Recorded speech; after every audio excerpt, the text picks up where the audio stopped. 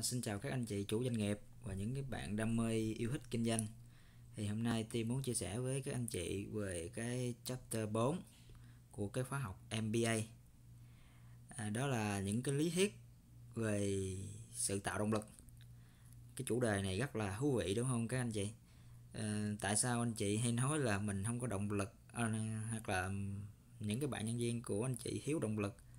Trong những cái tình huống nhất định những cái việc mà mình không thích làm, mình không có động lực để làm, ha.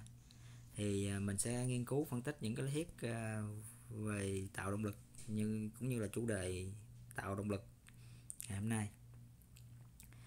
Thì à, đi vào cái bài học hôm nay thì cũng giống như thường lại là mình muốn anh chị phải ghi nhớ ba điều nếu mà xem cái video này là mình đã học được cái gì và cái này mình áp dụng vào cái tình huống trường hợp nào của cái vấn đề doanh nghiệp của mình hoặc là cái trải nghiệm của mình ừ, trước đó để rút ra và lên cái kế hoạch thực thi để xem xét lại cho nó có cải thiện hay không ha. Đó là xem ừ, cái khóa học trong cái relax trong cái sự mình nghỉ ngơi của anh chị. Còn nếu mà anh chị mà học thật sự á, thì anh chị sẽ trả lời những câu hỏi như thế này. Là là dùng cái gift cycle giống như mình đã chia sẻ là mô tả những cái vấn đề liên quan của anh chị những cái trải nghiệm kinh nghiệm của anh chị liên quan đến cái cái động lực này cái khóa học này. Rồi uh, cái cảm giác của anh chị về cái trải nghiệm của, trước đó của anh chị. Rồi tiếp theo là đánh giá cái trải nghiệm đó của anh chị tốt xấu hay là liên quan đến cái chủ đề về động lực này. Và phân tích những cái bài học hôm nay áp dụng vào cái trải nghiệm đó của mình liên hệ thực tiễn á rồi rút ra kết luận và đưa ra kế hoạch hành động cho tương lai. Những cái việc gì mình làm trong thời gian bao lâu cụ thể ra làm sao kết quả xem lại như thế nào ha. Cố gắng work uh, trên cái kế hoạch đó của mình. Nếu mà anh chị thật sự xem để học còn để xem để relax để rút ra cái kinh nghiệm thì làm ba cái giống như nãy mình nói thôi. Rồi ok. Thì hôm nay mình sẽ đi vào cái chủ đề về tạo sự động lực. Những cái lý thuyết về động lực ha. Đi vào cái nội dung uh, những cái chapter outline trước thì à, hôm nay mình sẽ đi vào cái những cái mục như sau. Đó là định nghĩa về động lực là gì rồi những cái nhu lý thuyết nhu cầu của sự tạo động lực như là tháp nhu cầu của Maslow. Nếu mà anh chị nào đã học qua về kinh tế thì chắc chắn sẽ biết Maslow. Rồi những cái lý thuyết về hai trend của sự tạo động lực rồi lý thuyết nhu cầu của cái MC Cholan này và tóm tắt lại những cái lý thuyết về nhu cầu. Cái đó là về quy trình của của tạo sự động lực à, đó là những cái lý thuyết về kỳ vọng. Uhm, cũng giống như là tạo sự động lực anh chị phải đặt kỳ vọng vậy đó. Thì lý thuyết mình sẽ đi sâu vào hiểu sâu về cái kỳ vọng đó. Những lý thuyết về cài đặt mục tiêu khi mình chỉ thiết lập mục tiêu thì làm sao cho nó hiệu quả để mà đạt được cái cái đó và tạo động lực để làm được. Cũng giống như lý thuyết về tự khả năng mình hiệu quả của bản thân để làm. Rồi củng cố lý thuyết về củng cố cái nguồn lực khả năng. Tiếp theo là đi về cho những cái phản ứng phản hồi của cái hệ thống phần hưởng. À, có nghĩa là mình thiết lập cái phần hưởng trong cái lý thuyết công bằng như thế nào để cho nhân viên nó hết thú tạo động lực làm. Cũng giống như đối xử cái quy trình khen hưởng quy trình công bằng. Rồi lý thuyết về cái sự tự quyết định và lý thuyết về tạo động lực ừ, tăng lên cái động lực bên trong cái động lực bên ngoài cái yếu tố nào ảnh hưởng đến đến cái nhu cầu động lực của mình ha. Và tạo động lực này cho ai? Tất cả đặt vào trong tất điều này được đặt vào trong tất cả là cho cho bản thân mình hay cho ai ha. Rồi, thì sau cái buổi học hôm nay, kết quả của buổi học á, thì mong đợi là sẽ mô tả được ba cái thành tố chính của sự tạo động lực. Rồi đánh giá được những cái lý thuyết đầu tiên của tạo động lực. Rồi áp dụng những cái lý thuyết về kỳ vọng để tạo động lực cho nhân viên. Đó, nhân viên mình kỳ vọng điều gì? Thì mình áp dụng những cái kỳ vọng lý thuyết đó để làm sao thúc đẩy nhân viên mình có động lực hơn, để làm tốt cái việc hơn, perform hiệu quả hơn ha. Rồi mô tả những cái lý thuyết về mục tiêu, cài đặt mục tiêu cho nhân viên, cũng như mục tiêu cho tổ chức của mình. Làm sao cho nó thực thi được, triển khai được. Củng cố về cái kỹ năng nào, khả năng nào, kiến thức của mình, cũng như cho nhân viên để làm tốt cái nhiệm vụ của công việc. Rồi mô tả được cái tại sao là cái sự công bằng, vấn đề công bằng quan trọng ờ, ở trong cái môi trường làm việc nếu mà môi trường làm việc mà anh chị thấy bất công quá anh chị sẽ không happy. Hoặc là thành ra cái vấn đề mà, mà quan trọng à, là phải sự công bằng giữa các nhân viên cũng giống như là công bằng về sếp quản lý rất là phải công bằng. Chứ không thì sẽ có một cái sự cạnh tranh ngầm hoặc là sự không có hài lòng ở trong cái môi trường làm việc của anh chị. Vô cùng quan trọng ha. Mình sẽ đi sâu vào những cái vấn đề này. Thì tiếp theo mình cũng sẽ mô tả về những cái sự tổ chức đánh giá là công bằng như thế nào định nghĩa là cái sự công bằng đó. Công bằng đó là đối xử nhân viên này tốt hơn nhân viên khác hoặc là tận hưởng cho nhân viên này ít hơn hay nhiều hơn nhân viên kia hay là um, trong cách hành xử của anh chị như thế nào để cho thấy sự công bằng ha. Áp dụng những cái điều kiện tiên đoán về cái quyết định của anh chị tạo phần hưởng kích cầu từ cái động lực bên trong và động lực bên ngoài. Số 8 mình sẽ thảo luận về những cái đạo đức ở đằng sau cái lý thuyết động lực đó và chính là mình sẽ tóm lại những cái gì gọi là quan trọng cái gì là cần thiết để biết về cách tạo động lực cho nhân viên. Ok cách tạo động lực cho nhân viên. Cuối cùng là như thế mình sẽ đi sâu vào cái gì được gọi là định nghĩa động lực. Muốn tạo động lực cho nhân viên mình phải định nghĩa được cái gì là động lực cái đã. Thì anh chị hãy cho mình những cái ví dụ nào hoặc là những cái suy nghĩ của anh chị gọi là tạo động lực. Uhm, thì có thể nói là động lực này là một cái sự intensity là cái sự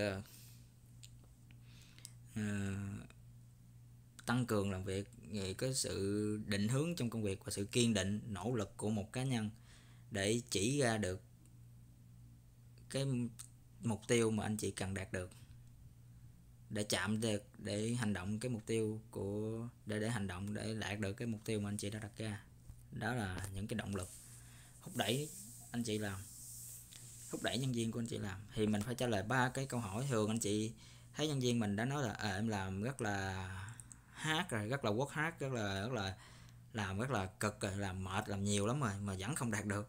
Thì thật sự là mình phải đặt câu hỏi là có thật sự là là hát làm làm quê cực như thế nào ha? Thì mình sẽ trả lời gọi là cái câu là intensity how hard a person try là anh ấy À, nhân viên ấy đã làm việc try cái việc đó bao nhiêu lần cũng như là mình giao cái nhiệm vụ kêu làm một cái báo cáo cho mình hoặc là đi gặp khách hàng.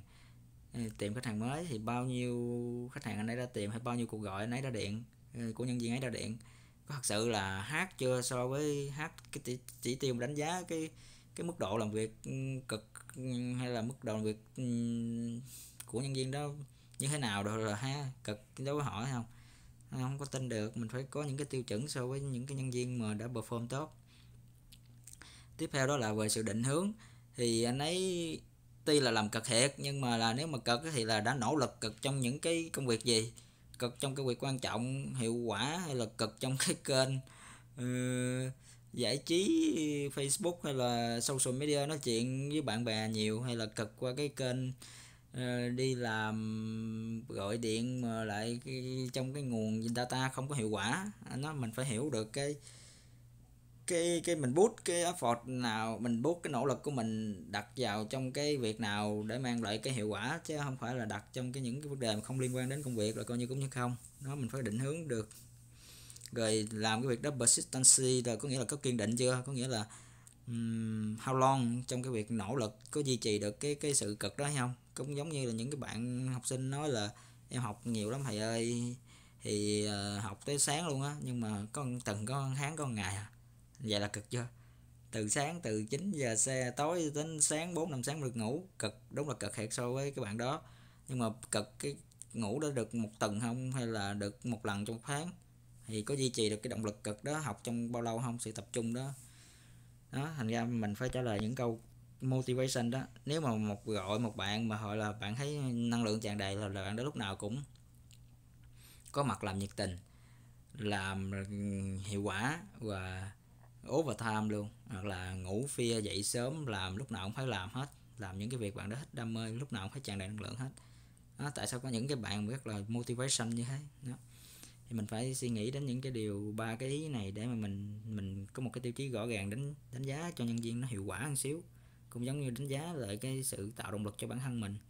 Mình thử hỏi bản thân mình là đã nỗ lực cực thật sự chưa so với bản thân mình hay là so với cái cái người khác? Người khác còn cực hơn mình nhiều lần hơn, họ làm nỗ lực nhiều hơn, mỗi ngày họ làm nhiều hơn, thức khuya dậy sớm nhiều hơn, chứ không phải như mình lâu lâu mới lần gọi là cực, ha? Ok. Quan trọng ba cái đó.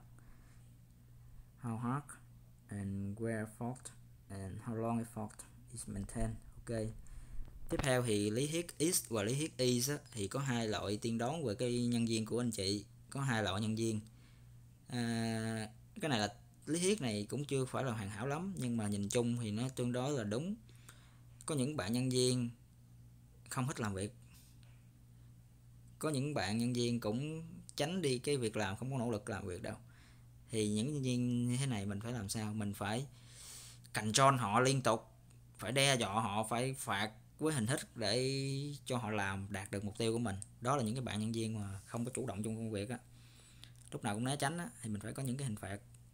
Thành ra mỗi cái cái tiếp nhân viên mình phải hiểu được cái tính tình cái hành cư xử của họ để mình cho đối xử có một, một cái biện pháp quản lý hiệu quả hơn ha. Tiếp theo là những cái bạn nhân viên mà y wise y là tốt hơn á, thì họ thích làm việc. Cho việc là họ làm họ muốn làm họ có khả năng sáng tạo họ tìm kiếm cái trách nhiệm trong công việc của họ. Họ luôn háo hức tự điều chỉnh cái bản thân tự kiểm soát bản thân để mà họ cam kết đạt được cái mục tiêu với các anh chị. Thì những cái bạn này là tốt. Các bạn nên à, nên nên nên, nên, nên đào tạo phát triển họ cho họ làm tốt cái việc hơn nha. Khích khích lệ họ sau mỗi lần mà họ làm xong cái việc á vì vì những cái tiếp người của của nhân viên là tốt. Cơ bản là có hai cái cái loại nhân viên như thế nhưng mà cũng không cũng không phải là lý thuyết này hoàn hảo nhưng mà nhìn chung thì anh chị có thể thấy giống như vậy. Nhưng quan trọng nữa là tùy theo cái mức độ nhân viên đó là đã làm bao lâu trong cái cái vị trí đó. Hoặc là mới vào làm hoặc là đã làm lâu rồi kinh nghiệm rồi kỹ năng cái làm sao thì anh chị phải hiểu được những cái cái đánh, đánh giá yếu tố liên quan ảnh hưởng đến cái performance chứ cái khả năng khi công việc của nhân viên anh chị. Nếu mà những nhân viên mới vô làm á, họ không thích công việc hoặc là do mình bố trí công việc họ sai nha thì họ cũng không thích làm thật sự là họ thích cái việc làm khác.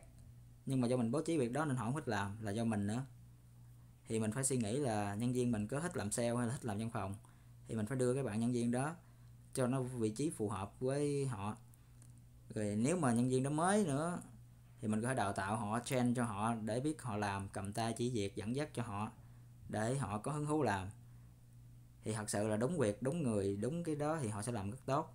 Đối với nhân viên mới sau một tháng là mình biết họ làm được hay không rồi rồi uh, nếu mà những bạn có kinh nghiệm rồi thì các bạn cứ việc uh, chỉ định hướng uh, làm việc này làm việc kia rồi kiểm soát sơ lại kiểm soát lại cái việc mà bạn đó đã làm tốt theo cái kỳ vọng của mình chưa nói cho kỳ vọng nói cái kết quả cho các bạn nhân viên đó biết là mình muốn dày mình muốn dày thời gian bao lâu để làm cho nó tốt ha.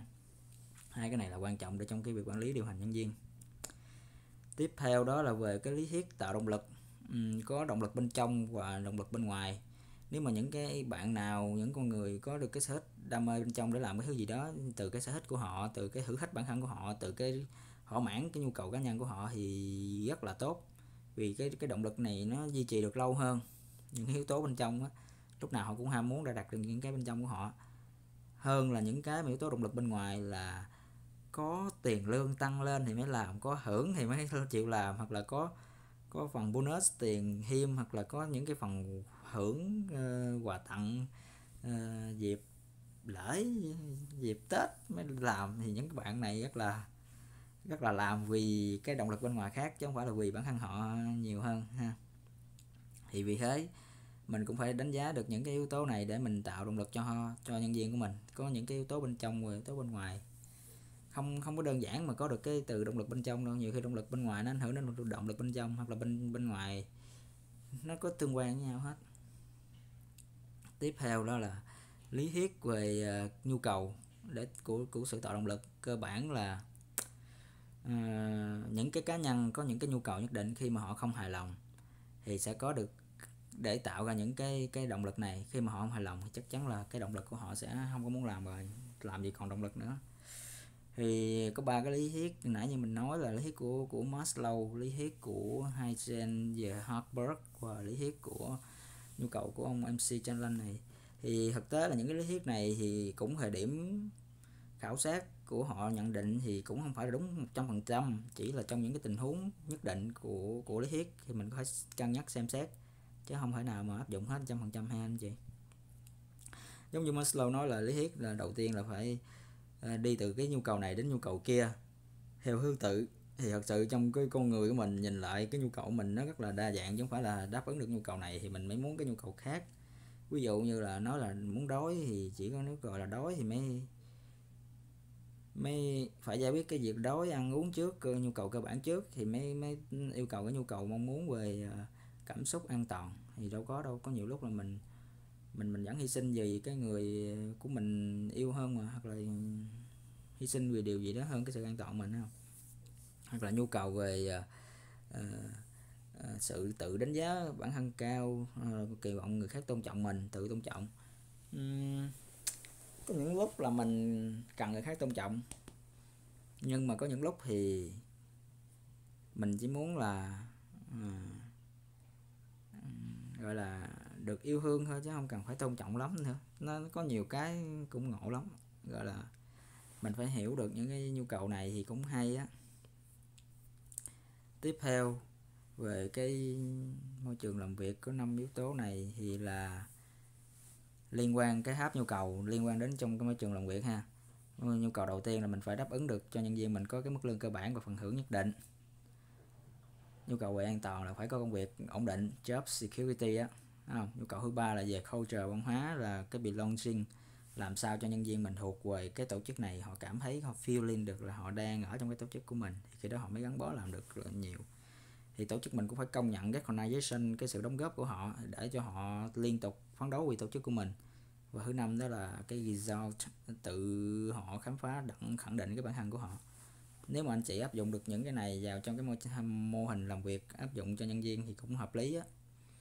Uhm, hợp lý ở những cái chỗ nhất định là à, nhân viên nào cũng có nhu cầu cơ bản là có được lãnh lương với phần hưởng đương nhiên mình phải đáp ứng cái đó chứ công ty mình thiết lập một cái cái chính sách cho nhân viên mà không có được những cái này thì cũng không duy trì được họ lâu đâu. Công việc cho họ mà cũng không ổn định không có thoải mái để làm thì họ cũng sẽ nghỉ sớm thôi. Họ nhận lương được xong rồi làm việc không ok thôi nghỉ. Văn hóa của công ty cũng quan trọng từ người lãnh đạo tổ chức tạo ra cái môi trường đó người ảnh hưởng đến những người xung quanh những cái bạn đồng nghiệp à, phải có cái sự socialize bên ngoài cái tổ chức chứ không phải làm việc không. Nếu mà kết nối được thêm cái đi ra bên ngoài giao lưu ăn uống nữa thì gắn kết thêm cái tình giao lưu rất là tốt. Giống như là anh em trong nhà giống như là người bạn ờ, người bạn luôn vừa trong công việc mà vừa ở ngoài. Thì rất là hay ha. Rồi à, tiếp theo nữa là về cái uh, tiếp theo đi qua cái chương tiếp theo à, qua cái phần tiếp theo là lý thuyết về uh, hai gen. Thì uh, tạo động lực hai gen factor này những cái yếu yếu tố về tạo động lực của của của của nguồn lực hài lòng bên trong. Những động lực bên trong giống như mình nói là phải có người thì đánh giá cao cái sự đạt được uh, thành tích của họ công nhận của họ hoặc là ừ. cái thử thách họ có có những cái nhân viên muốn muốn đạt được những cái điều này thì mình phải hiểu được cái nhu cầu của họ. Thì mình sẽ cho họ đạt được những cái điều này. Rất là đa dạng. Làm sao để mình hiểu được những cái nhu cầu của nhân viên mình, đúng không? Thì phải quan sát họ, phải nói chuyện với họ để biết cái suy nghĩ của họ là gì nha rồi bên cạnh đó cũng có những yếu tố không hài lòng từ yếu tố bên ngoài, là nguồn lực của công ty của mình. Giống như là công ty, chính sách công ty không có phù hợp với cái bạn nhân viên này. Cũng không phải phù hợp với mọi người nữa. Thì là công ty mình có vấn đề á, mình phải xem xét lại. Hoặc là mình phải xem lại những cái bạn nhân viên này có thật sự là là bạn này không ổn không, thì mình sẽ xem xét. Rồi cái sự không có hài lòng với những cái đồng nghiệp khác trong cái tổ chức, nó rất là quan trọng. Người đi làm mà lại không có hài lòng với những người khác nhiều, thì lại là bạn đó sẽ không thuộc về tổ chức đâu rồi performance tại điều kiện làm việc của mình, môi trường làm việc mình không có máy điều hòa, không có bàn ghế sử dụng không tốt, thì họ cũng không hài lòng về môi trường làm việc ở bên trong. Ừ. lý thuyết là lý thuyết, nhưng thực tế thì là một phần nó đúng, nên anh chị phải cân nhắc những điều kiện này, rồi mình sẽ đánh giá lại.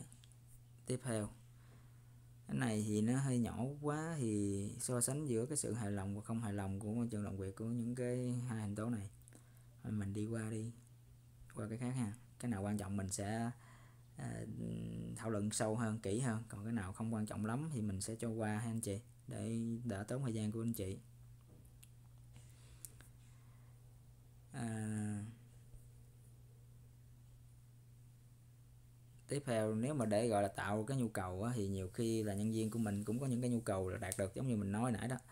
Nếu mà cho các bạn đó có cảm giác được cái việc họ làm là quan trọng và họ muốn đạt được cái việc đó cho họ cái sự thành tựu đó họ rất thích uhm, thì sẽ thỏa mãn được công việc của họ hoặc là cho họ cái quyền lực để họ có trách nhiệm trong cái việc quyết định của việc làm của họ. Nhỏ thôi cũng được không ảnh hưởng lắm tùy theo khả năng của bạn nhân viên đó ha rồi à, ham muốn trong cái mối quan hệ của cá nhân. Mình phải hiểu cái, cái ham muốn của của những cái bạn nhân viên đó cần cái nhu cầu gì tình bạn tình công việc à, nên đáp ứng cho họ trong khả năng. À, những cái mối tương quan. Uhm, thôi mình cho qua đi lý thuyết này cái nào mình thấy quan trọng mình sẽ đứng lại. Bây giờ đứng đứng lại phần tóm tắt cho anh chị ba cái nhu cầu của lý thuyết thì à, giống như nãy phân tích chia sẻ thì bây giờ mình sẽ tóm tắt lại những cái cá nhân ý chính là cá nhân sẽ có những cái nhu cầu nhất định về cái công việc của họ ừ, về nhu cầu về cuộc sống của họ gia đình của họ có những cái nhu cầu nhất định. Thì khi mà họ đã không có hài lòng về những cái cái việc đó không có nhu cầu của họ không được đáp ứng á, thì sẽ có cái tiềm năng sẽ tạo ra thì mình phải tạo ra cái động lực cho họ để để để để đáp ứng cái nhu cầu đó khi mà họ không hài lòng. Là hấp nhu cầu Maslow sẽ tranh cãi rằng là giống như mình nói là phải đáp ứng thỏa mãn từ cái uh, nhu cầu đầu tiên cho đến tiến triển đến những cái nhu cầu tiếp theo. Là từ cái nhu cầu ăn uống cơ bản trước hoặc là từ cái công việc lương ổn định trước thì mới đến cái công việc an toàn công việc uh, ổn định có lương có hưởng mới đến công việc ăn ổn ổn định được. Rồi mới đến uh, À, đảm bảo được công việc ổn định thì mới đến gọi là à, mức độ cao hơn nãy. À, sự gọi là achievement đạt được của cái công việc uh, perform tốt hơn. Còn cái ông Hasper này thì ông nói là động lực này sẽ dẫn đến cái sự hài lòng. Vì thế mà à, nếu mà một cá nhân không có đáp ứng được sự hài lòng đó, thì họ sẽ không có làm việc được tốt. Họ sẽ dẫn đến sự bất mãn nhưng mà còn cái ông hấp MC Cleveland sẽ nói rằng là người ta rất là đa dạng trong những cái loại nhu cầu khác nhau mà họ có. Vì thế mà cái động lực của họ và cái how they perform công tình huống công việc thì sẽ liên quan đến họ có cái nhu cầu cho đạt được cái achievement của họ hay không, có được power hay không. Không? Ba cái lý thuyết khác nhau về nhu cầu để tạo động lực mỗi cái lý thuyết thì lại ưu tiên cho những cái nhu cầu khác nhau. Giống như mình nói là Maslow là ưu tiên cho nhu cầu cơ bản ăn uống ổn định an toàn. Thì khi đó sẽ mới đạt đến cái mức độ về uh, công việc tốt perform tốt rồi muốn được khen thưởng muốn uh, muốn được uh, công nhận. Còn cái ông MC Seolan này thì ông nói là cái nhu cầu mà ta muốn đạt được nhiều hơn. Phải cho ta achievement trước thì năng lượng trước chứ không phải nói là cái nhu cầu cơ bản kia. Nó nó, nó rất là nó rất là đa dạng ha mỗi người đa dạng tùy theo cái giai đoạn đó tình huống đó mà mình mình phải hiểu được tất cả những cái quy trình trong cái nhu cầu đó thì mình sẽ vận dụng vô cho nó phù hợp. Tiếp theo về tóm tắt của Maslow thì họ sẽ yêu thích cái sự mở rộng trong cái sự công nhận của việc thực hành đối với người quản lý. Hầu hết người quản lý sẽ quen với cái việc này về ông Hasper này thì phổ biến cho cái việc mà nhân viên cho nhiều hơn cái trách nhiệm lên kế hoạch kiểm soát cái công việc của họ đóng góp cho cái sự tìm thấy chỉ ra gần nhiều hơn trong cái một cái nhu cầu mà có thể vận hành cùng một thời gian. Thì ông Hasper này ông phân tích là à, những cái bạn nhân viên này sẽ có nhiều cái nhu cầu trong cùng một thời gian hơn chứ không phải là như theo cái thứ tự của Maslow. Và trách nhiệm của nhân viên sẽ đi cùng với cái nhu cầu đó nếu mà cho họ những cái cái việc làm cụ thể trong cùng một thời gian không vận hành còn cái ông này thì nói cho chúng ta biết là khi mà người đạt được cao achiever cao thì sẽ không cần thiết làm một người quản lý tốt. Bởi vì những cái người đạt được nhu cầu cao của họ đạt được cái kỳ vọng đạt được cái kết quả cao của họ thì họ quan tâm đến là how đây cái cái tính cách cá nhân của nhiều nhỏ làm nhiều hơn làm cho cái cái thương hiệu cá nhân của họ. Ok mình sẽ đi qua tiếp cái phần tiếp theo. À, về tóm tắt về ông Maslow này. Uhm, nghiên cứu cho rằng là không có tồn tại được cái sự đáng giá trong lý thuyết này thì có một chút ờ, hỗ trợ cho cái lý thuyết của của bản chất tự nhiên của nhu cầu. Thì dữ liệu được tìm thấy và không dịch giống như mình nói không phải lý thuyết nó hoàn chỉnh lắm. Họ, họ cho một cái phán xét đối ngược khác á. Mình thành ra cũng không có tin hoàn toàn. Và cũng không thật sự cái lý thuyết về động lực này tiên đoán là có liên kết giữa sự hài lòng và cái sự sản xuất là đo lường được ông nội này ông cái ông này thì ông nói là uh, chưa chắc là hài lòng thì sẽ tạo ra được cái hiệu quả năng suất lao động làm việc tốt. Cũng không phải là tiên đoán cái cái cái mối liên kết này cũng không thật sự là như vậy. Uhm, còn cái MC Lagan này Lalan này thì có sự trộn lẫn trong hỗ trợ nhưng mà cái lý thuyết này thì được kiên định theo cái kiến thức của chúng ta trong cái sự khác nhau của từng người. À, cái cái MC Slan này thì nói chung chung hơn thì theo kiến thức của từng người và cá nhân, nhu cầu đạt được thì họ sẽ có những cái nhu cầu khác nhau. Tóm lại thì anh chị sẽ suy nghĩ về cái cái những cái lý thuyết này có đa dạng cái nhu cầu thì nhưng mà mình sẽ hiểu một phần thôi chứ không phải là tin tin theo những cái mức độ đó, tin theo những cái nhu cầu theo thứ tự đó là xảy ra cùng một lúc đó. Mình áp dụng đa dạng hơn ha rồi quy trình của lý thuyết về tạo động lực thì có lý thuyết về kỳ vọng, lý thuyết về ờ, đặt mục tiêu, lý thuyết về ờ, hiệu quả của bản thân và lý thuyết về ờ, cải thiện à, củng cố. Đó là những cái quy trình của tạo động lực đây, đi theo vào cái đây. Lý thuyết kỳ vọng của bản thân đó là nhân viên sẽ được tạo động lực khi mà có được một cái nỗ lực cao. Họ, nếu mà họ tin rằng là họ họ nỗ lực để để đạt được cái perform tốt của họ. Cái perform tốt của họ sẽ cho họ được cái kết quả tốt và cái phần hưởng họ sẽ hài lòng đối với cái mục tiêu cá nhân của họ. Cái câu cuối rất là quan trọng nha anh chị. Có nghĩa là cái phần hưởng mà anh chị đã tặng cho nhân viên của mình á thì nó phải đáp ứng được cái thỏa mãn cái mục tiêu cái nhu cầu cá nhân của họ. Chứ nếu không họ thích ví dụ như họ thích điện thoại mà anh chị uh, tặng ví dụ họ thích điện thoại Samsung mà anh chị tặng điện thoại iPhone thì cơ bản họ cũng thích thích nhưng mà không thích lắm, không thỏa mãn cái nhu cầu của họ về cái phần thưởng đó. Đó là lý thuyết kỳ vọng. Có nghĩa là anh chị tạo hứa hẹn cho nhân viên mình một cái kỳ vọng. Nếu mà nhân viên perform tốt thì nhân viên sẽ đạt được cái điều này. Ờ, tạo ra một cái kỳ vọng cho nhân viên đáp ứng cái nhu cầu của họ thì họ sẽ cố gắng đạt được và anh chị phải đáp ứng cho họ cái đúng cái kỳ vọng đó. Đó là mong đợi. Giống như anh chị hứa với con của anh chị con anh chị học tốt tạo động lực cho con anh chị bằng cái việc này đạt được kỳ vọng đó ừ. mối quan hệ giữa những cái kỳ vọng lý thuyết như là mối quan hệ giữa um, sự nỗ lực performance với cái nỗ lực thì khi mà mình đặt được nhiều cái nỗ lực hơn mình đặt effort gọi là độ nỗ lực để làm thì nó sẽ nó, nó cũng sẽ làm tốt thôi rồi hoặc là lý thuyết giữa cái phần hưởng và nỗ lực thì sẽ mức độ giữa cá nhân tin rằng cái sự performance của họ là cụ thể dẫn đến cái phần hưởng luôn. Họ tin rằng là nếu mà perform tốt thì họ cũng sẽ nhận được phần hưởng phần hưởng phải đáng giá, phù hợp với mục tiêu cá nhân của họ là được, để thu hút họ làm, chứ chứ không phải là hưởng tiền không. Tiền ai cũng thích, nhưng mà nhiều khi tiền họ lại à, thích hơn ừ, thích thích một cái gì đó khác hơn là tiền nữa uhm, này là so sánh những yếu tố kỳ vọng ha. Cải thiện cái yếu tố kỳ vọng như thế nào cải thiện cái sự hướng dẫn này như thế nào và cải thiện cái sự hiệu lực này như thế nào. Khi mà cái kỳ vọng anh chị đặt ra cũng phải làm chắc chắn giống như mục tiêu hoặc là giống như cái nhiệm vụ mà anh chị đặt cho nhân viên mình nó cũng phải đáp ứng được cái khả năng kỹ năng của nhân viên mình để đáp ứng được cái công việc đó chứ không phải anh chị đặt cái kỳ vọng ra, rồi xong rồi nói sao, nhân viên là không được. Như kỳ vọng này, rồi nó không đạt được cái phần thưởng này. Tại do mình không hiểu được cái khả năng, kỹ năng của nhân viên, thì mình phải cải năng cái, cải thiện cái khả năng kỹ năng hoặc là cái cái chế gia việc của mình để cung ứng, cung cấp cho cái nhân viên làm tốt hơn cái bộ phơm này. Thì kỳ vọng nó mới hiệu quả được ha. Cải thiện cho nhân viên cái niềm tin là sẽ hoàn thành tốt, dẫn đến một cái perform kết quả tốt.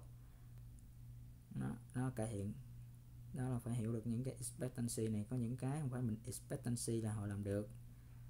Phải có những cái expect đáp ứng đúng match với lại cái kỹ năng khả năng của họ ha. Rồi tiếp theo là một tiếp theo đó là mình sẽ đi vào cái phần feedback tầm quan trọng của cung cấp về cái sự feedback. À, là gọi là feedback này gọi là tiếng việt gọi là phản hồi á đánh giá xem xét lại nhân viên mình đã đánh giá à, công bằng chưa? Người quản lý có hành thật không? Và cái sự đóng góp đánh giá này phải trên tinh thần xây dựng chứ không phải là đánh giá chơi bài chỉ trích ừ, làm cho họ đi ghi cái mức độ hài lòng của mình của công việc của họ luôn là là thua luôn á. Ba yếu tố quan trọng đánh giá là phải khả khả khả thi à, khả khả quan. Ừ, người quản lý phải thành thật hơn rồi người nhân viên của mình cũng phải công bằng xíu giữa các nhân viên rồi tinh trên tinh thần phải xây dựng, chứ không phải là đánh giá mà mà chơi chích, chỉ trích nhân viên này, nhân viên nọ nha anh chị. Rồi performance review xem xét lại trong cái nhiều mối yếu tố đánh, theo cái quy trình đánh giá, cho phép những cái nhân viên này tự đánh giá bản thân luôn. Ừ. đó là cái quy trình làm sao để feedback hiệu quả, cải thiện cái khả năng làm việc của nhân viên. Rồi qua tiếp theo là về lý thuyết thiết lập mục tiêu. Hồi nãy là thiết lập kỳ vọng xong bây giờ thiết lập mục tiêu. Thì lý thuyết này thật sự là cụ thể và mục tiêu nó rất khó để mà dẫn đến cái perform cao. Tại sao?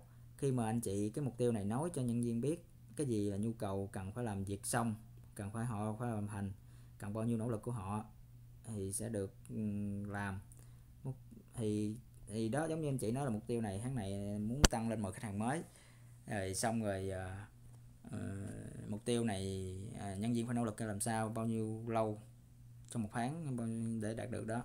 Lý thuyết mục tiêu này nó phải cụ thể để để tăng được cái performance của nhân viên anh chị. Những cái mục tiêu khó khăn khi mà được chấp nhận thì kết quả nó sẽ rất cao hơn là so với những mục tiêu dễ dàng. Và cho lại những cái phản hồi dẫn đến cái perform cao nó không phải là không có bị không được phản hồi. Dù cho perform cao thì vẫn có phản hồi ha những mục tiêu cụ thể khó đạt được là một cái mục tiêu kết quả cao hơn so với những cái mục tiêu mà mà mà cá nhân đó làm tốt nhất. Có nghĩa là dù cho cá nhân đó làm tốt nhất mà bên thằng tháng tiếp theo hay quý tiếp theo mình có thể đặt cái kỳ vọng mục tiêu cao hơn để đẩy cái năng lực của nhân viên cao hơn. Nhiều khi cái việc đó đơn giản đối với nhân viên này mà khó với nhân viên kia thì mình phải cho những cái chỉ tiêu KPI khác nhau ha. Cụ thể về mục tiêu hành động như là tình huống của từng cá nhân khác nhau. Ok. À, quản trị bằng cái mục tiêu này là quan trọng nè. Anh chị quản lý nhân viên mình theo cái mục tiêu KPI chỉ tiêu đặt ra. Ví dụ như bạn sale tháng 10 khách hàng mới 10 hợp đồng thì anh chị quản trị theo mục tiêu đó 10 hợp đồng. Hay là anh chị quản trị theo cái cái cái đo lường họ dựa vào cái hành động của họ làm hàng ngày, hay là anh chị quản lý họ theo cái cái cái tính chất công việc của họ, tùy. Thì quản trị theo mục tiêu này sẽ có chương trình cụ thể là phải có mục tiêu cụ thể, đa dạng, đo lường được, phải làm được cái quyết định ờ, dự báo được, và kỳ vọng cái đoạn thời gian, cái thời gian hoàn thành và cho lại cái phản ứng ờ, phản hồi feedback trên cái perform đó. Đó là quản trị theo mục tiêu. Quản trị mục tiêu này hay ở chỗ là là những bạn nhân viên đánh giá chung hết. Bạn nào làm tốt, bạn nào làm không tốt, theo cái con số đã chỉ định. Kiểm soát nhân viên dựa trên cái chỉ tiêu đã giao, kết quả hoàn thành. Làm gì không cần biết, nó là quản trị mục tiêu. Mục tiêu cuối cùng anh cần như thế này 10 bộ hồ sơ 10 khách hàng mới, khách hàng đến là đúng, em làm được, theo mục tiêu. Chứ không quản lý theo hàng ngày là kiểm soát rất cao là bạn này đi gặp khách hàng có thiệt hay không hay là làm việc cá nhân. Đó là kiểm soát cái việc làm của họ. À, mình không có kiểm soát đó mình chỉ cần kiểm soát cái kết quả là hôm nay đem về mấy cái khách hàng. Hay là mình hỏi những cái việc mà khi nào họ làm không được thì mình sẽ kiểm soát đến những cái hành động khác ha. Tiếp theo vậy thì mình thiết lập mục tiêu như thế nào để để để tạo được cho họ? Thì như đã nói là mục tiêu này là phải có sự tham dự của định hướng cho họ biết cái mục tiêu nỗ lực, buộc cái nỗ lực và phải tăng lên cái sự kiên định, khuyến khích phát triển những cái kế hoạch hành động. Khi đặt mục tiêu thì phải đặt ra kế hoạch hành động, khuyến khích cái điều đó. Thì à, cái này là hai là là cái công cụ để thiết lập mục tiêu hiệu quả nhất. Anh chị à, hãy à, trước đó chắc anh chị cũng nghe qua cái smart này. Thì để thiết lập mục tiêu cá nhân hoặc là mục tiêu kinh doanh, thì mục tiêu này nó phải cụ thể specific là cụ thể ví dụ như anh chị phải nói là tháng này phải 10 khách hàng mới là phải cụ thể 10 khách hàng mới chứ không phải tháng này muốn tăng lên nhiều khách hàng hơn nhiều là bao nhiêu đúng không? Rồi cụ thể thì phải đo lường được đo lường được là đo lường chia ra theo từng theo theo con số cụ thể chứ không phải là chung chung um, tăng lên khách hàng loại nào số gì không, không có đo lường được là không được. Hoặc là đo lường cái chỉ tiêu của nhân viên anh chị. Rồi cái mục tiêu này phải attainable attainable là có khả năng đạt được chứ đừng mục tiêu đặt lên tháng nhân viên mới ép vô đặt hai chục khách hàng. Khách hàng đâu ra hai chục, hai khách hàng chưa được nó lấy đâu ra hai hai chục, ha. Rồi định hướng kết quả. Ờ, kết quả mong đợi anh chị là phải nói nhân viên được. Kết quả muốn muốn khách hàng phải đạt được cái doanh thu như thế này hoặc là khách hàng phải ở khu vực này hay là mục tiêu khách hàng là phải đối tượng như thế này hay là kết quả như vậy nha có một cái thời gian deadline cho từng cái kế hoạch ngắn hạn, dài hạn, trung hạn rất là cụ thể, rất là hay. Anh chị phải đặt mục tiêu, phải có cái thời gian cụ thể, mục tiêu rõ ràng, nỗ lực làm, kiểm soát lại.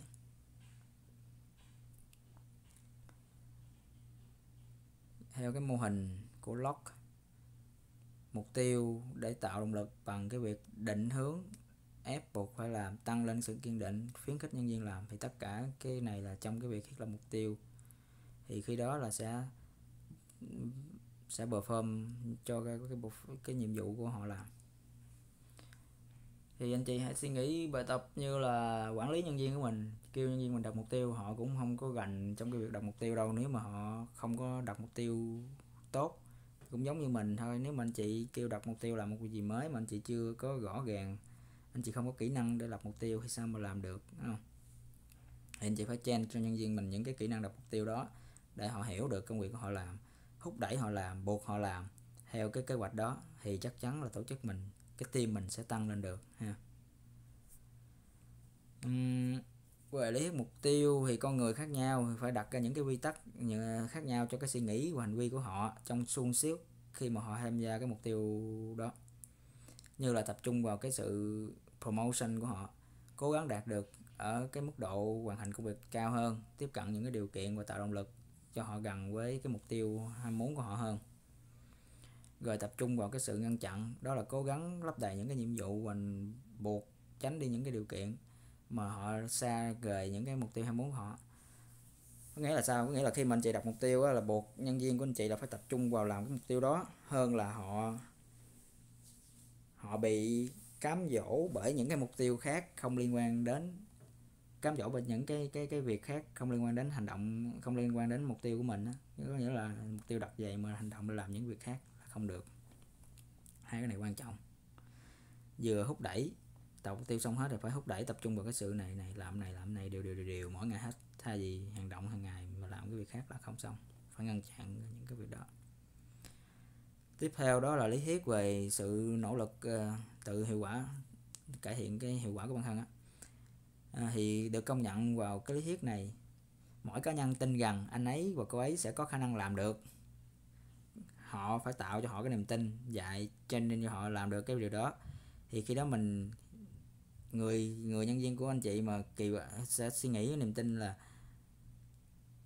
khả năng của họ cao càng cao họ suy nghĩ là họ làm họ tự tin nhiều thì khả năng của họ sẽ thành công nhiều trong công việc đó phải tạo cho họ được cái cái kỹ năng đó cái khả năng mà suy nghĩ uh, về cái cái cái cái mục tiêu đó là họ có thể tự tin làm được thì họ sẽ thành công nhiều hơn nha cải thiện về cái kỹ năng của bản thân đó rồi so có bốn cách để cải thiện về cái cái self efficiency rồi là sự hiệu quả của bản thân mình đó khi mà hiệu quả bản thân mình thì giống như anh chị làm sao để cải thiện cái cái bản thân mình làm việc hiệu quả hơn á, thì giờ đại nhân viên mình làm sao để cải thiện cho họ hiệu quả hơn.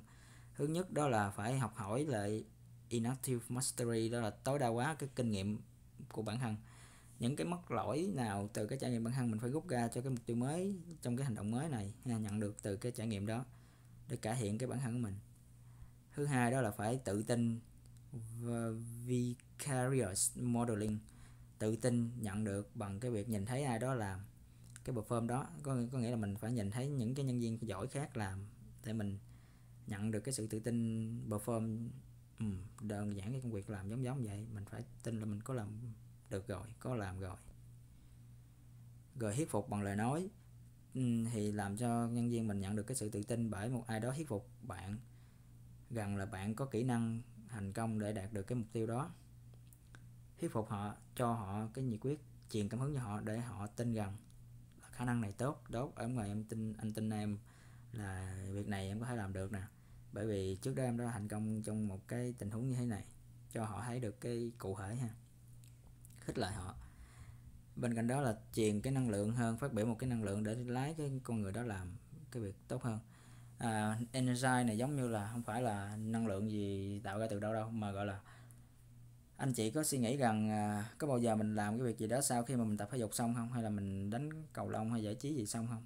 Khi mà mình dùng đầu óc sau khi mà mình hoạt động thể chất. Thì theo nghiên cứu cho thấy là là đầu óc mình sẽ hoạt động hiệu quả hơn tập trung năng lượng nhiều hơn. Sau khi mình vận động thể chất tập thể dục tập lái xe gì đó tập chạy bộ gì đó rồi mình quay lại công việc của mình.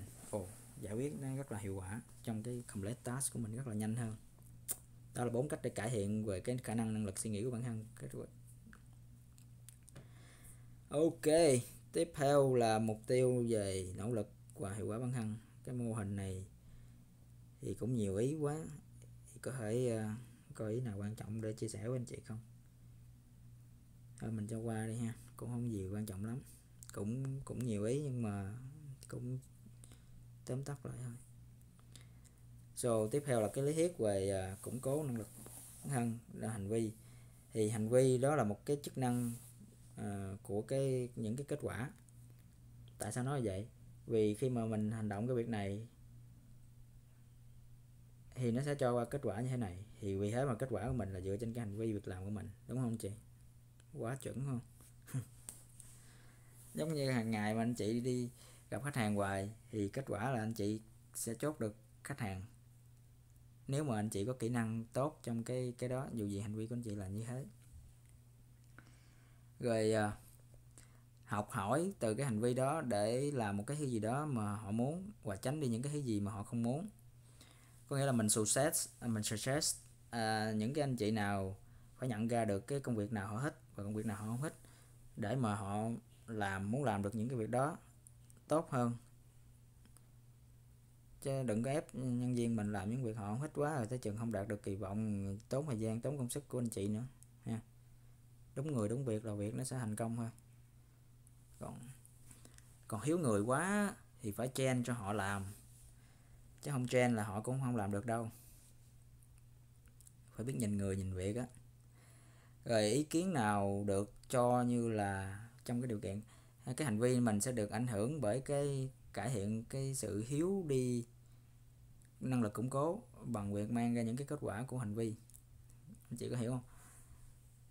Nghĩa là những cái kết quả của mình muốn thay đổi, giống như cái câu nói hay nhất là à, mình muốn thay đổi kết quả, mình phải thay đổi cái hành động của mình làm khác đi á. Đó là đại khái. Ok. Tiếp theo đo lường cái mô hình, cái method, cái phương pháp để hình thành cái hành vi. Hành vi, cái hành vi của mình. Suy nghĩ thường anh chị sẽ suy nghĩ là cái suy nghĩ sẽ quyết định cái hành động, đúng không? Thì bây giờ, suy nghĩ tích cực hay suy nghĩ tiêu cực nè. Rồi hình phạt nè. Rồi à, sự loại bỏ đi những cái yếu tố duy trì trong cái hành vi nè. Thì mình phải có những cái suy nghĩ tích cực với cái việc gì để mình thoải mái để làm. Với cái việc hướng đến mục tiêu mà mình và tổ chức kỳ vọng. Đó là những cái suy nghĩ tích cực để mình làm, hành vi mình tích cực. Đừng có suy nghĩ tiêu cực. Hàng ngày rất là nhiều suy nghĩ rồi, mà thường suy nghĩ tiêu cực cũng nhiều vì thế mình phải kiểm soát suy nghĩ tiêu cực, loại bỏ suy nghĩ đó qua, và suy nghĩ tập trung vào suy nghĩ tích cực. Để loại bỏ suy nghĩ tiêu cực ra thì có thể là nhiều khi mình coi cái môi trường đó khi nào, hoàn cảnh nào mà mình lại có những ý nghĩ đó phát sinh trong đầu, thì mình hãy né tránh những môi trường đó ra, những cái hình ảnh xung quanh đó ra, những cái con người xung quanh đó ra, ảnh hưởng tiêu cực đến cái mood, cái tâm trạng của anh chị, cái suy nghĩ anh chị. Quan trọng lắm ạ. À. thì khi đó anh chị xếp được cái thinking của mình tốt hơn, gọi là hình thành cái suy nghĩ tốt hơn á hoặc là có những hình phạt của những người quản lý những cái tổ chức uh, để để để làm cho nhân viên có hành động cải thiện hơn trong việc giống như đi làm trễ hoặc là không đúng giờ hoặc là à, phạt những cái hành vi gọi là hành vi tại mà không tuân thủ nha. Phạt sẽ sẽ sẽ sẽ một phần hợp lý. Ok. Ví dụ cụ thể luôn nè người quản lý sẽ tăng lên sẽ praise cho những cái niềm lợi mình có một công việc tốt hơn. Nó nói là sẽ tăng cho một khi mà họ làm tốt việc. Rồi những cái cải thiện những cái tiêu cực thì cái người hướng dẫn này phải đặt ra những câu hỏi cho cái người học sinh để nhìn thông qua cái bài giảng của họ ghi chú tránh đi những cái tiêu cực. Cô ấy đã học được cái gì trong việc bận rộn nhắn những cái nốt từ cái người hướng dẫn đó. À, phải có hướng dẫn. Giống như mình ví dụ nãy cho anh chị thấy thôi. Rồi qua cái loại về schedule. Uhm, để cải thiện năng lực bản thân để cải thiện cái này thì cam kết là phải có một cái lịch liên tục và từ bên ngoài. Cải thiện liên tục hay muốn cái hành vi mỗi lần. Phải mô tả cái cái cái sự mục tiêu đó mình hay muốn mỗi lần mỗi lần mỗi lần để mình cải thiện cái hành vi của mình. Rồi mỗi cá nhân đầu tiên là cũng phải có được những hành vi thích hợp đối với những cái thời gian thích hợp à, đối với công việc phù hợp. Ừ. rồi cải thiện một cái sự cố định và đa dạng. Lịch trình này phải cố định lịch trình này phải đa dạng. Cho qua luôn anh chị mô tả một cái lịch trình cố định trình lịch trình đa dạng. Bob quiz cho qua luôn. Đây cái này mình mới hay, hay nè. Hệ thống mô tả về cái phần hưởng giống như mình chia sẻ nãy lý thuyết về hành ca lý thuyết về sự công bằng. Nhân viên mình đối xử làm sao cho công bằng? Rồi quy trình về sự công bằng về sự đối xử công bằng. Sự cái lý thuyết về sự tự quyết định và sự tăng lên cái động lực bên trong. Giống như cái kết quả bây giờ tỷ số ờ, bên ngoài đối với bên trong người một person một person hai. Các bạn có thấy person một cái hình nó ít hơn person hai đúng không? Thì nó không có công bằng trong cái việc phần hưởng nè. Cái người một sẽ nhận thức à, cái person một perception là sự nhận thức của của của người thứ nhất. Hai người ha người mọ người thứ nhất và người thứ hai màu hồng. Hồng hay tím tím đó là màu người thứ nhất xanh xanh lá cây là người thứ hai. Rồi bây giờ cái sự công bằng đánh giá như thế nào? Có nghĩa là tỷ lệ kết quả đạt được 11 12 hình giữa thì là equity, công bằng bằng. Còn người một nhiều hơn người hai thì đánh giá cũng không công bằng. Overworded đơn giản thôi, công bằng vậy thôi. Người ta nhận thức như thế, nhiều hơn, ít hơn. Tiếp. Lý thuyết công bằng này được nhận dạng rằng là từng cá nhân sẽ quan tâm không chỉ là về cái lượng phần hưởng mà họ nhận được, nỗ lực, đối với nỗ lực của họ, mà còn cái mối quan hệ trong cái lượng mà họ nhận với những cái người khác.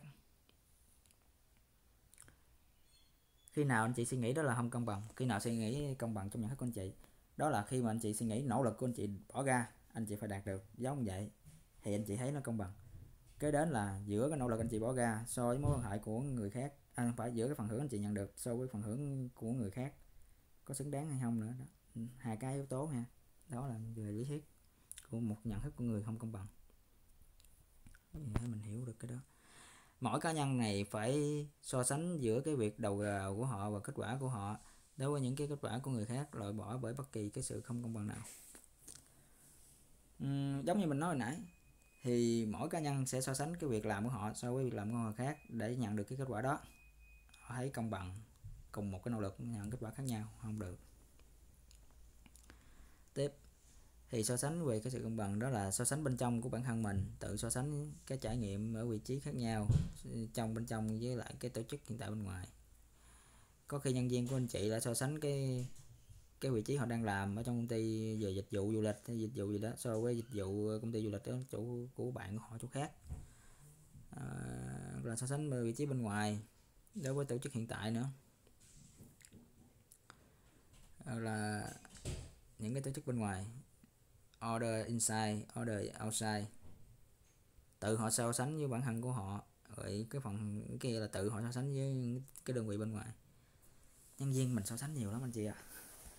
so sánh bản thân họ, lương hưởng nhận được dày công việc dày ổn chưa? Hoặc là so sánh với người làm ờ, xung quanh, cùng vị trí, rồi so sánh với người bên ngoài, cùng cái công việc. Mình phải hiểu những cái yếu tố này, phải xếp cái thinking của họ. Năng lực của em dày công việc em dày em phải làm tốt vậy, anh sẽ tăng lương. Còn qua bên đó, nhiều khi họ yêu cầu khác. Mình phải đặt trong tình huống như thế, hiểu rõ hơn, chứ không phải nghe một phía không? Ha. những cái phản hồi đối với sự công không công bằng thì sẽ thay đổi cái đầu vào của họ đi, thay đổi kết quả của họ đi, điều chỉnh sự nhận thức của họ lại, điều chỉnh cái sự nhận thức của những người khác, chọn lựa những cái phương pháp phối hợp, rời bỏ cái phiêu đó. Ok, tiếp theo đó là quy trình về đánh giá cái sự công bằng hoặc không công bằng.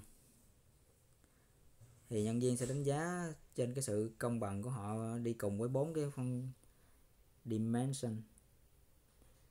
Là thứ nhất là sự đóng góp của họ được đánh giá công bằng hay không, cái quy trình đánh giá công bằng hay không, thông tin của họ đánh giá công bằng, rồi tương tác cá nhân của họ có công bằng hay không ở trong cái môi trường làm việc. Rồi, tiếp. À, cái phần này cho qua luôn lên chị ơi. Sự phân tích đánh giá mô hình của tổ chức đánh giá công bằng. Cho qua luôn. Lý thuyết về tự đánh giá. Thì nè cái này cũng hay.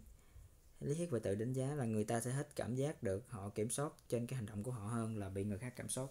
Anh chị có thấy đây đây được không? Nhân viên hết kiểm soát của họ làm của họ hơn là bị người khác giám sát. Ừ thì nếu mà nhân viên nào tự làm được thì cho họ kiểm soát. Còn nhân viên không làm được thì anh chỉ phải phạt thôi. Ừ. rõ ràng. Động lực bên trong động lực bên ngoài. Nhiều quá rồi cho, cho qua luôn đi.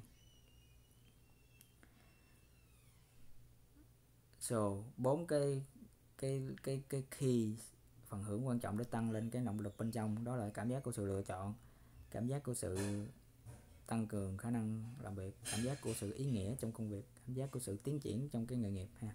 Bốn cái này quan trọng để làm phần hưởng trong cái môi trường làm việc. Chứ không phải là hưởng tiền không. Nó có yếu tố là cho họ chọn lựa uhm, công việc à, làm được không làm được yes or no tăng tiền tăng lương tăng phúc lợi hoặc là tăng cái khả năng về tăng khả năng làm việc của họ lên hoặc là tăng cái sự meaningful trong ý nghĩa công việc của họ làm hơn. Bốn yếu tố này thì đi sâu vào bốn yếu tố này. Dẫn dắt cho cái sự lựa chọn, dẫn dắt cho cái sự ờ, khả năng làm việc, dẫn dắt cho cái sự ý nghĩa trong công việc, dẫn dắt cho sự ờ, dẫn đến cái sự ờ, tiến triển trong công việc. Xây dựng bốn cái lốc để để để tăng phần hưởng ở bên trong của họ tăng cái sự lựa chọn công việc. Thì giống như mình chia sẻ là mình nói là phải làm cho nhân viên là tin tưởng vào trong những cái người worker của mình, tạo cho họ một cái mục tiêu rõ ràng, thông tin rõ ràng để họ làm việc, họ lựa chọn cho nó đúng. Tăng cái khả năng của họ làm lên là kiến thức ờ, lên, kỹ năng lên. Tăng lên cái nghĩa công việc chỉ họ, việc này rất quan trọng, họ làm việc này rất có ý nghĩa đối với khách hàng, rất là ý nghĩa đối với nhân viên ờ, đồng nghiệp, tổ chức, ha để cho họ thấy là việc này làm họ sẽ giúp họ phát triển nghề nghiệp tương lai, do khả năng đánh dấu mốc cải thiện được cái cái vị trí công việc của họ, vân vân. Ai thì nên là được động lực động lực này cho ai? Những người nhận được động lực lý thuyết động lực này thì họ sẽ giúp được những người quản lý, lấy được nhiều cái sản xuất từ cái người nhân viên hơn. Có một chút bận tâm về những người nhân viên hơn là mở rộng cái sự cải thiện đối với sự sản xuất của họ nghiên cứu cũng chỉ là gần cái cái mục đích đối với tổ chức mà có được cái bắt buộc về nghĩa là đạo đức thì sẽ làm cho môi trường làm việc tốt hơn đối với người nhân viên, cung cấp cho cái công việc ý nghĩa hơn phối kết vào cải thiện điều kiện làm việc. Tạo động lực này sẽ cho ai? Kỹ năng tạo động lực thì cho người quản lý.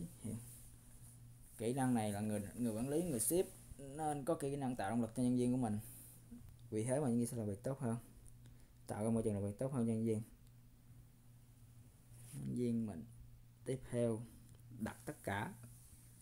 Vào cùng một cái rồi chúng ta biết rằng để tạo động lực cho nhân viên trong một tổ chức á, thì phải rất là nhiều yếu tố chứ không phải là những cái yếu tố phần hưởng không ha. Là thành ra tổng kết lại cuối cùng là nhận dạng được những cái việc nhận dạng được những cá nhân là khác nhau không cá nhân nào giống cá nhân như nào vì thế mà employees của mình nó rất có nhu cầu có có những người employee có nhu cầu khác nhau. Mỗi cá nhân khác nhau thì employee nhân viên của mình cũng khác nhau nhu cầu khác nhau. Đừng có đối xử với họ là giống nhau tất cả họ là khác nhau nên mình phải đối xử là tất cả là đều phải khác nhau. À, theo cái lý thuyết về phần hưởng theo động lực tạo động lực những cái lời khuyên nãy nó khác nhau hết. Phần hưởng thì ok là phải công bằng nhưng mà nó là cái sự tạo động lực cho họ là phải khác nhau rồi tiêu xài thời gian cần thiết để hiểu được cái gì là quan trọng đối với mỗi cá nhân. Có sự quan tâm đến họ, biết được gia đình của họ, có con, quan tâm đến gia đình đằng sau cái thời gian của họ một xíu. Có người này thì bị hiếu chia tay bồ, quan tâm đến họ về cái việc mà mà hiếu học cô đơn hơn. Rồi hoặc là người này làm việc chưa tốt vì hiếu kỹ năng này, hoặc là họ quan tâm đến việc học này, bạn này mình cho họ cái việc học này mỗi cá nhân khác nhau hết. Và sử dụng cái mục tiêu và phản hồi đặt mục tiêu cho họ xong rồi feedback cho họ đều đặn ha. Anh chị phải để ý cái phần đó rất là quan trọng. Cho mục tiêu rõ ràng giống như mình nói là đặt mục tiêu nãy cho họ hiểu được cái cái, cái công việc đó để họ làm. Rồi cho phép những người nhân viên của mình tham gia vào trong cái những quyết định để ảnh hưởng đến họ những nhân viên nào mà có trách nhiệm rồi làm được thì mình phải trao quyền cho họ một xíu để tin tưởng rằng là họ có trách nhiệm. Chứ nếu không thì họ không có cảm giác được là họ quyền họ làm là quan trọng. Phải liên kết giữa những cái phần hưởng đến những cái performance ham muốn của họ những cái tiến hành ham muốn nha. Chắc cái hệ thống về cái sự công bằng. À, kiểm tra cái họ suy nghĩ vậy là công bằng đối với họ chưa hay là chưa công bằng với nỗ lực của họ. Rồi công bằng với cái sự À, nhận được của họ với những cái người khác hay không. Nó tất cả mình phải bút chung một chỗ tất cả những cái động lực hành vi tạo động lực. À, những cái nhu cầu khác nhau mình phải có những cái cách để tạo động lực dựa trên phần hưởng khác nhau. Đó, tất cả mình phải sử dụng năm cái yếu tố này. Đánh giá về cá nhân khác nhau sử dụng mục tiêu feedback khác nhau cho phép nhân viên tham gia vào cuộc họp ảnh hưởng đến họ liên kết những cái phần hưởng để tạo ra động lực ham muốn kiểm tra cái sự công bằng ừ, ok.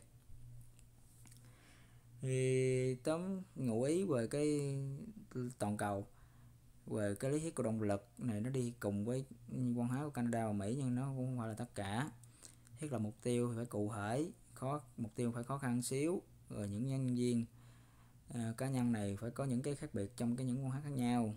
Và lý thuyết về sự công bằng là khác có ý nghĩa khác nhau đối với những cái văn hóa khác nhau nữa. Ồ, công bằng này cũng hay ấy rồi những cái động lực bên trong và bên ngoài ờ, khác biệt về văn hóa trong cái ờ, hình thức của người quản lý đối với người tạo động lực của nhân viên. Rồi kiên định trong cái văn hóa xuyên suốt văn hóa đừng có tiên đoán rằng là không có một cái sự kiên định trong những cái văn hóa khác nhau ha. Đây là đang đi với toàn cầu rồi. Hay xa thì có thể anh chị đi rộng ngắn là, là à, nhân viên ở những vùng miền khác nhau cũng được ha. tóm lại nhận dạng ra được là những cá nhân khác nhau có những nhu cầu khác nhau. Mục tiêu và feedback để giúp cho nhân viên của mình có động lực. Phần hưởng cái tín hiệu phần hưởng nào là quan trọng cho nhân viên của mình? Tóm lại nãy giờ bài chỉ có ba ý thôi. Nhận dạng ra mục tiêu nhận dạng ra nhân viên khác nhau có những cái nhu cầu khác nhau mục tiêu và phản hồi. Phần hưởng phải, phải đáp ứng với cái cái cái cái khích lệ nhân viên đó. Bài tập. Thì anh chị nào mà có thật sự học để ngâm sâu kiến thức hơn thì anh chị có thể tham tham khảo những câu hỏi này và comment bên dưới để mà mình chia sẻ cái kiến thức lẫn nhau ha. Trao đổi ờ, trong cái quá trình mà mình học. Thì anh chị suy nghĩ câu một là ba yếu tố chính của tạo động lực là cái gì ha?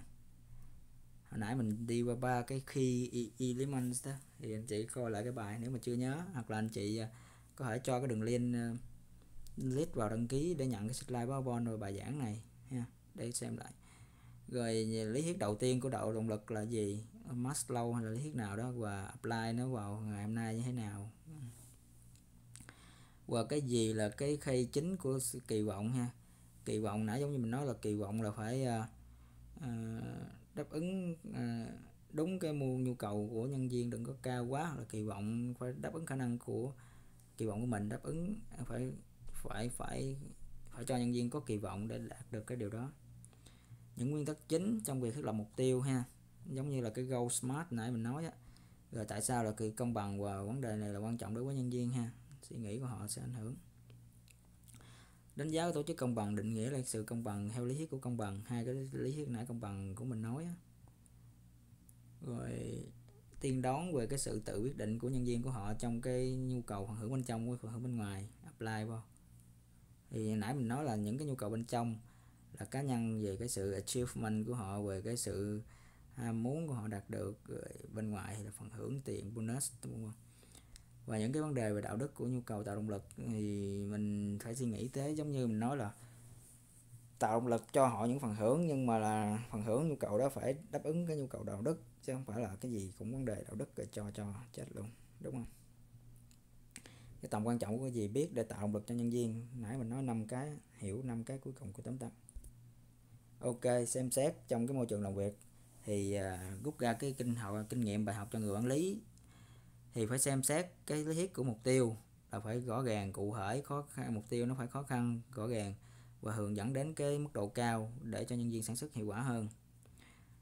Rồi xem xét à, làm thế nào để cải thiện. Cũng có những cái lý thuyết này và áp dụng vào trong cái chất lượng công việc của người quản lý của của mình, của nhân viên của mình và kiên định, nỗ lực và phải thực hiện cho được kết quả của lý thuyết của công bằng để giúp cho bạn hiểu được về cái sự sản xuất hài lòng này, về sự ờ, turnover của tổ chức là đa dạng. Thì lý thuyết về kỳ vọng cung cấp cho cái công cụ giải thích ờ, mạnh mẽ về cái tiến hành tiến trình đa dạng của những cái nhân viên sản xuất khác nhau. Ok đó là đó là người quản lý phải bốn cái này. Còn đây là bài tập homework thôi. À, ở case study cũng hay lắm nè. Cái tình huống này là hơi bị hay trong cái case study của thời đại à, à, của nhiều cái vấn đề của doanh nghiệp sẽ xảy ra. Câu một đó là nếu mà một trong những cái thành viên của của team của anh chị á, mà liên tục đi chở nè liên tục đi chở nha trong cái cuộc họp và không có cái bản nháp nào về cái assignment đúng giờ hết. Anh chị giao việc mà không có cho um, giao thời gian để để submit lại để nộp lại cho anh chị phản hồi nhưng mà cũng không có đúng giờ luôn. Thì chọn lựa cái lý thuyết nào có sẵn để chỉ ra gần giải thích gần là tại sao cái member hiện tại mình lại hành vi như cư xử như thế. Và lý thuyết nó có thể được sử dụng để tạo động lực trong cái group member để hành để mà perform trong cái group và trách nhiệm của group như thế nào không? Đó tình huống là như thế. Anh chị hãy suy nghĩ thử. Ví dụ như tại sao các bạn nhân viên này liên tục đi trễ? À, bạn ấy không hài lòng hay là bạn ấy không làm được việc hay là bạn ấy bị bận với khách hàng liên tục rồi rồi tại sao nếu bạn bạn ấy không có nộp cái báo cáo đúng giờ cho các bạn? À, bạn ấy không có muốn làm việc này nữa đúng không? Hay là mình đã bạn ấy đã sai trong cái việc này? Vân vân. Ok. Đó là cái bài học hôm nay. Thì à, hy vọng anh chị à, có thể à, chia sẻ những cái ờ, kinh nghiệm, kỹ năng của anh chị cho team biết thêm thì ờ, ờ, để đóng góp cùng chia sẻ học hỏi ha. Anh chị có thể comment bên dưới cái video này hoặc là subscribe cái kênh youtube này để có thể tiếp tục nhận thêm những cái bài học liên quan hữu ích về khóa học MBA cũng giống như là những cái kỹ năng, kiến thức dành cho người chủ doanh nghiệp, người quản lý và những cái bạn mà đang kinh doanh. Vân vân. Cảm ơn các anh chị nhiều.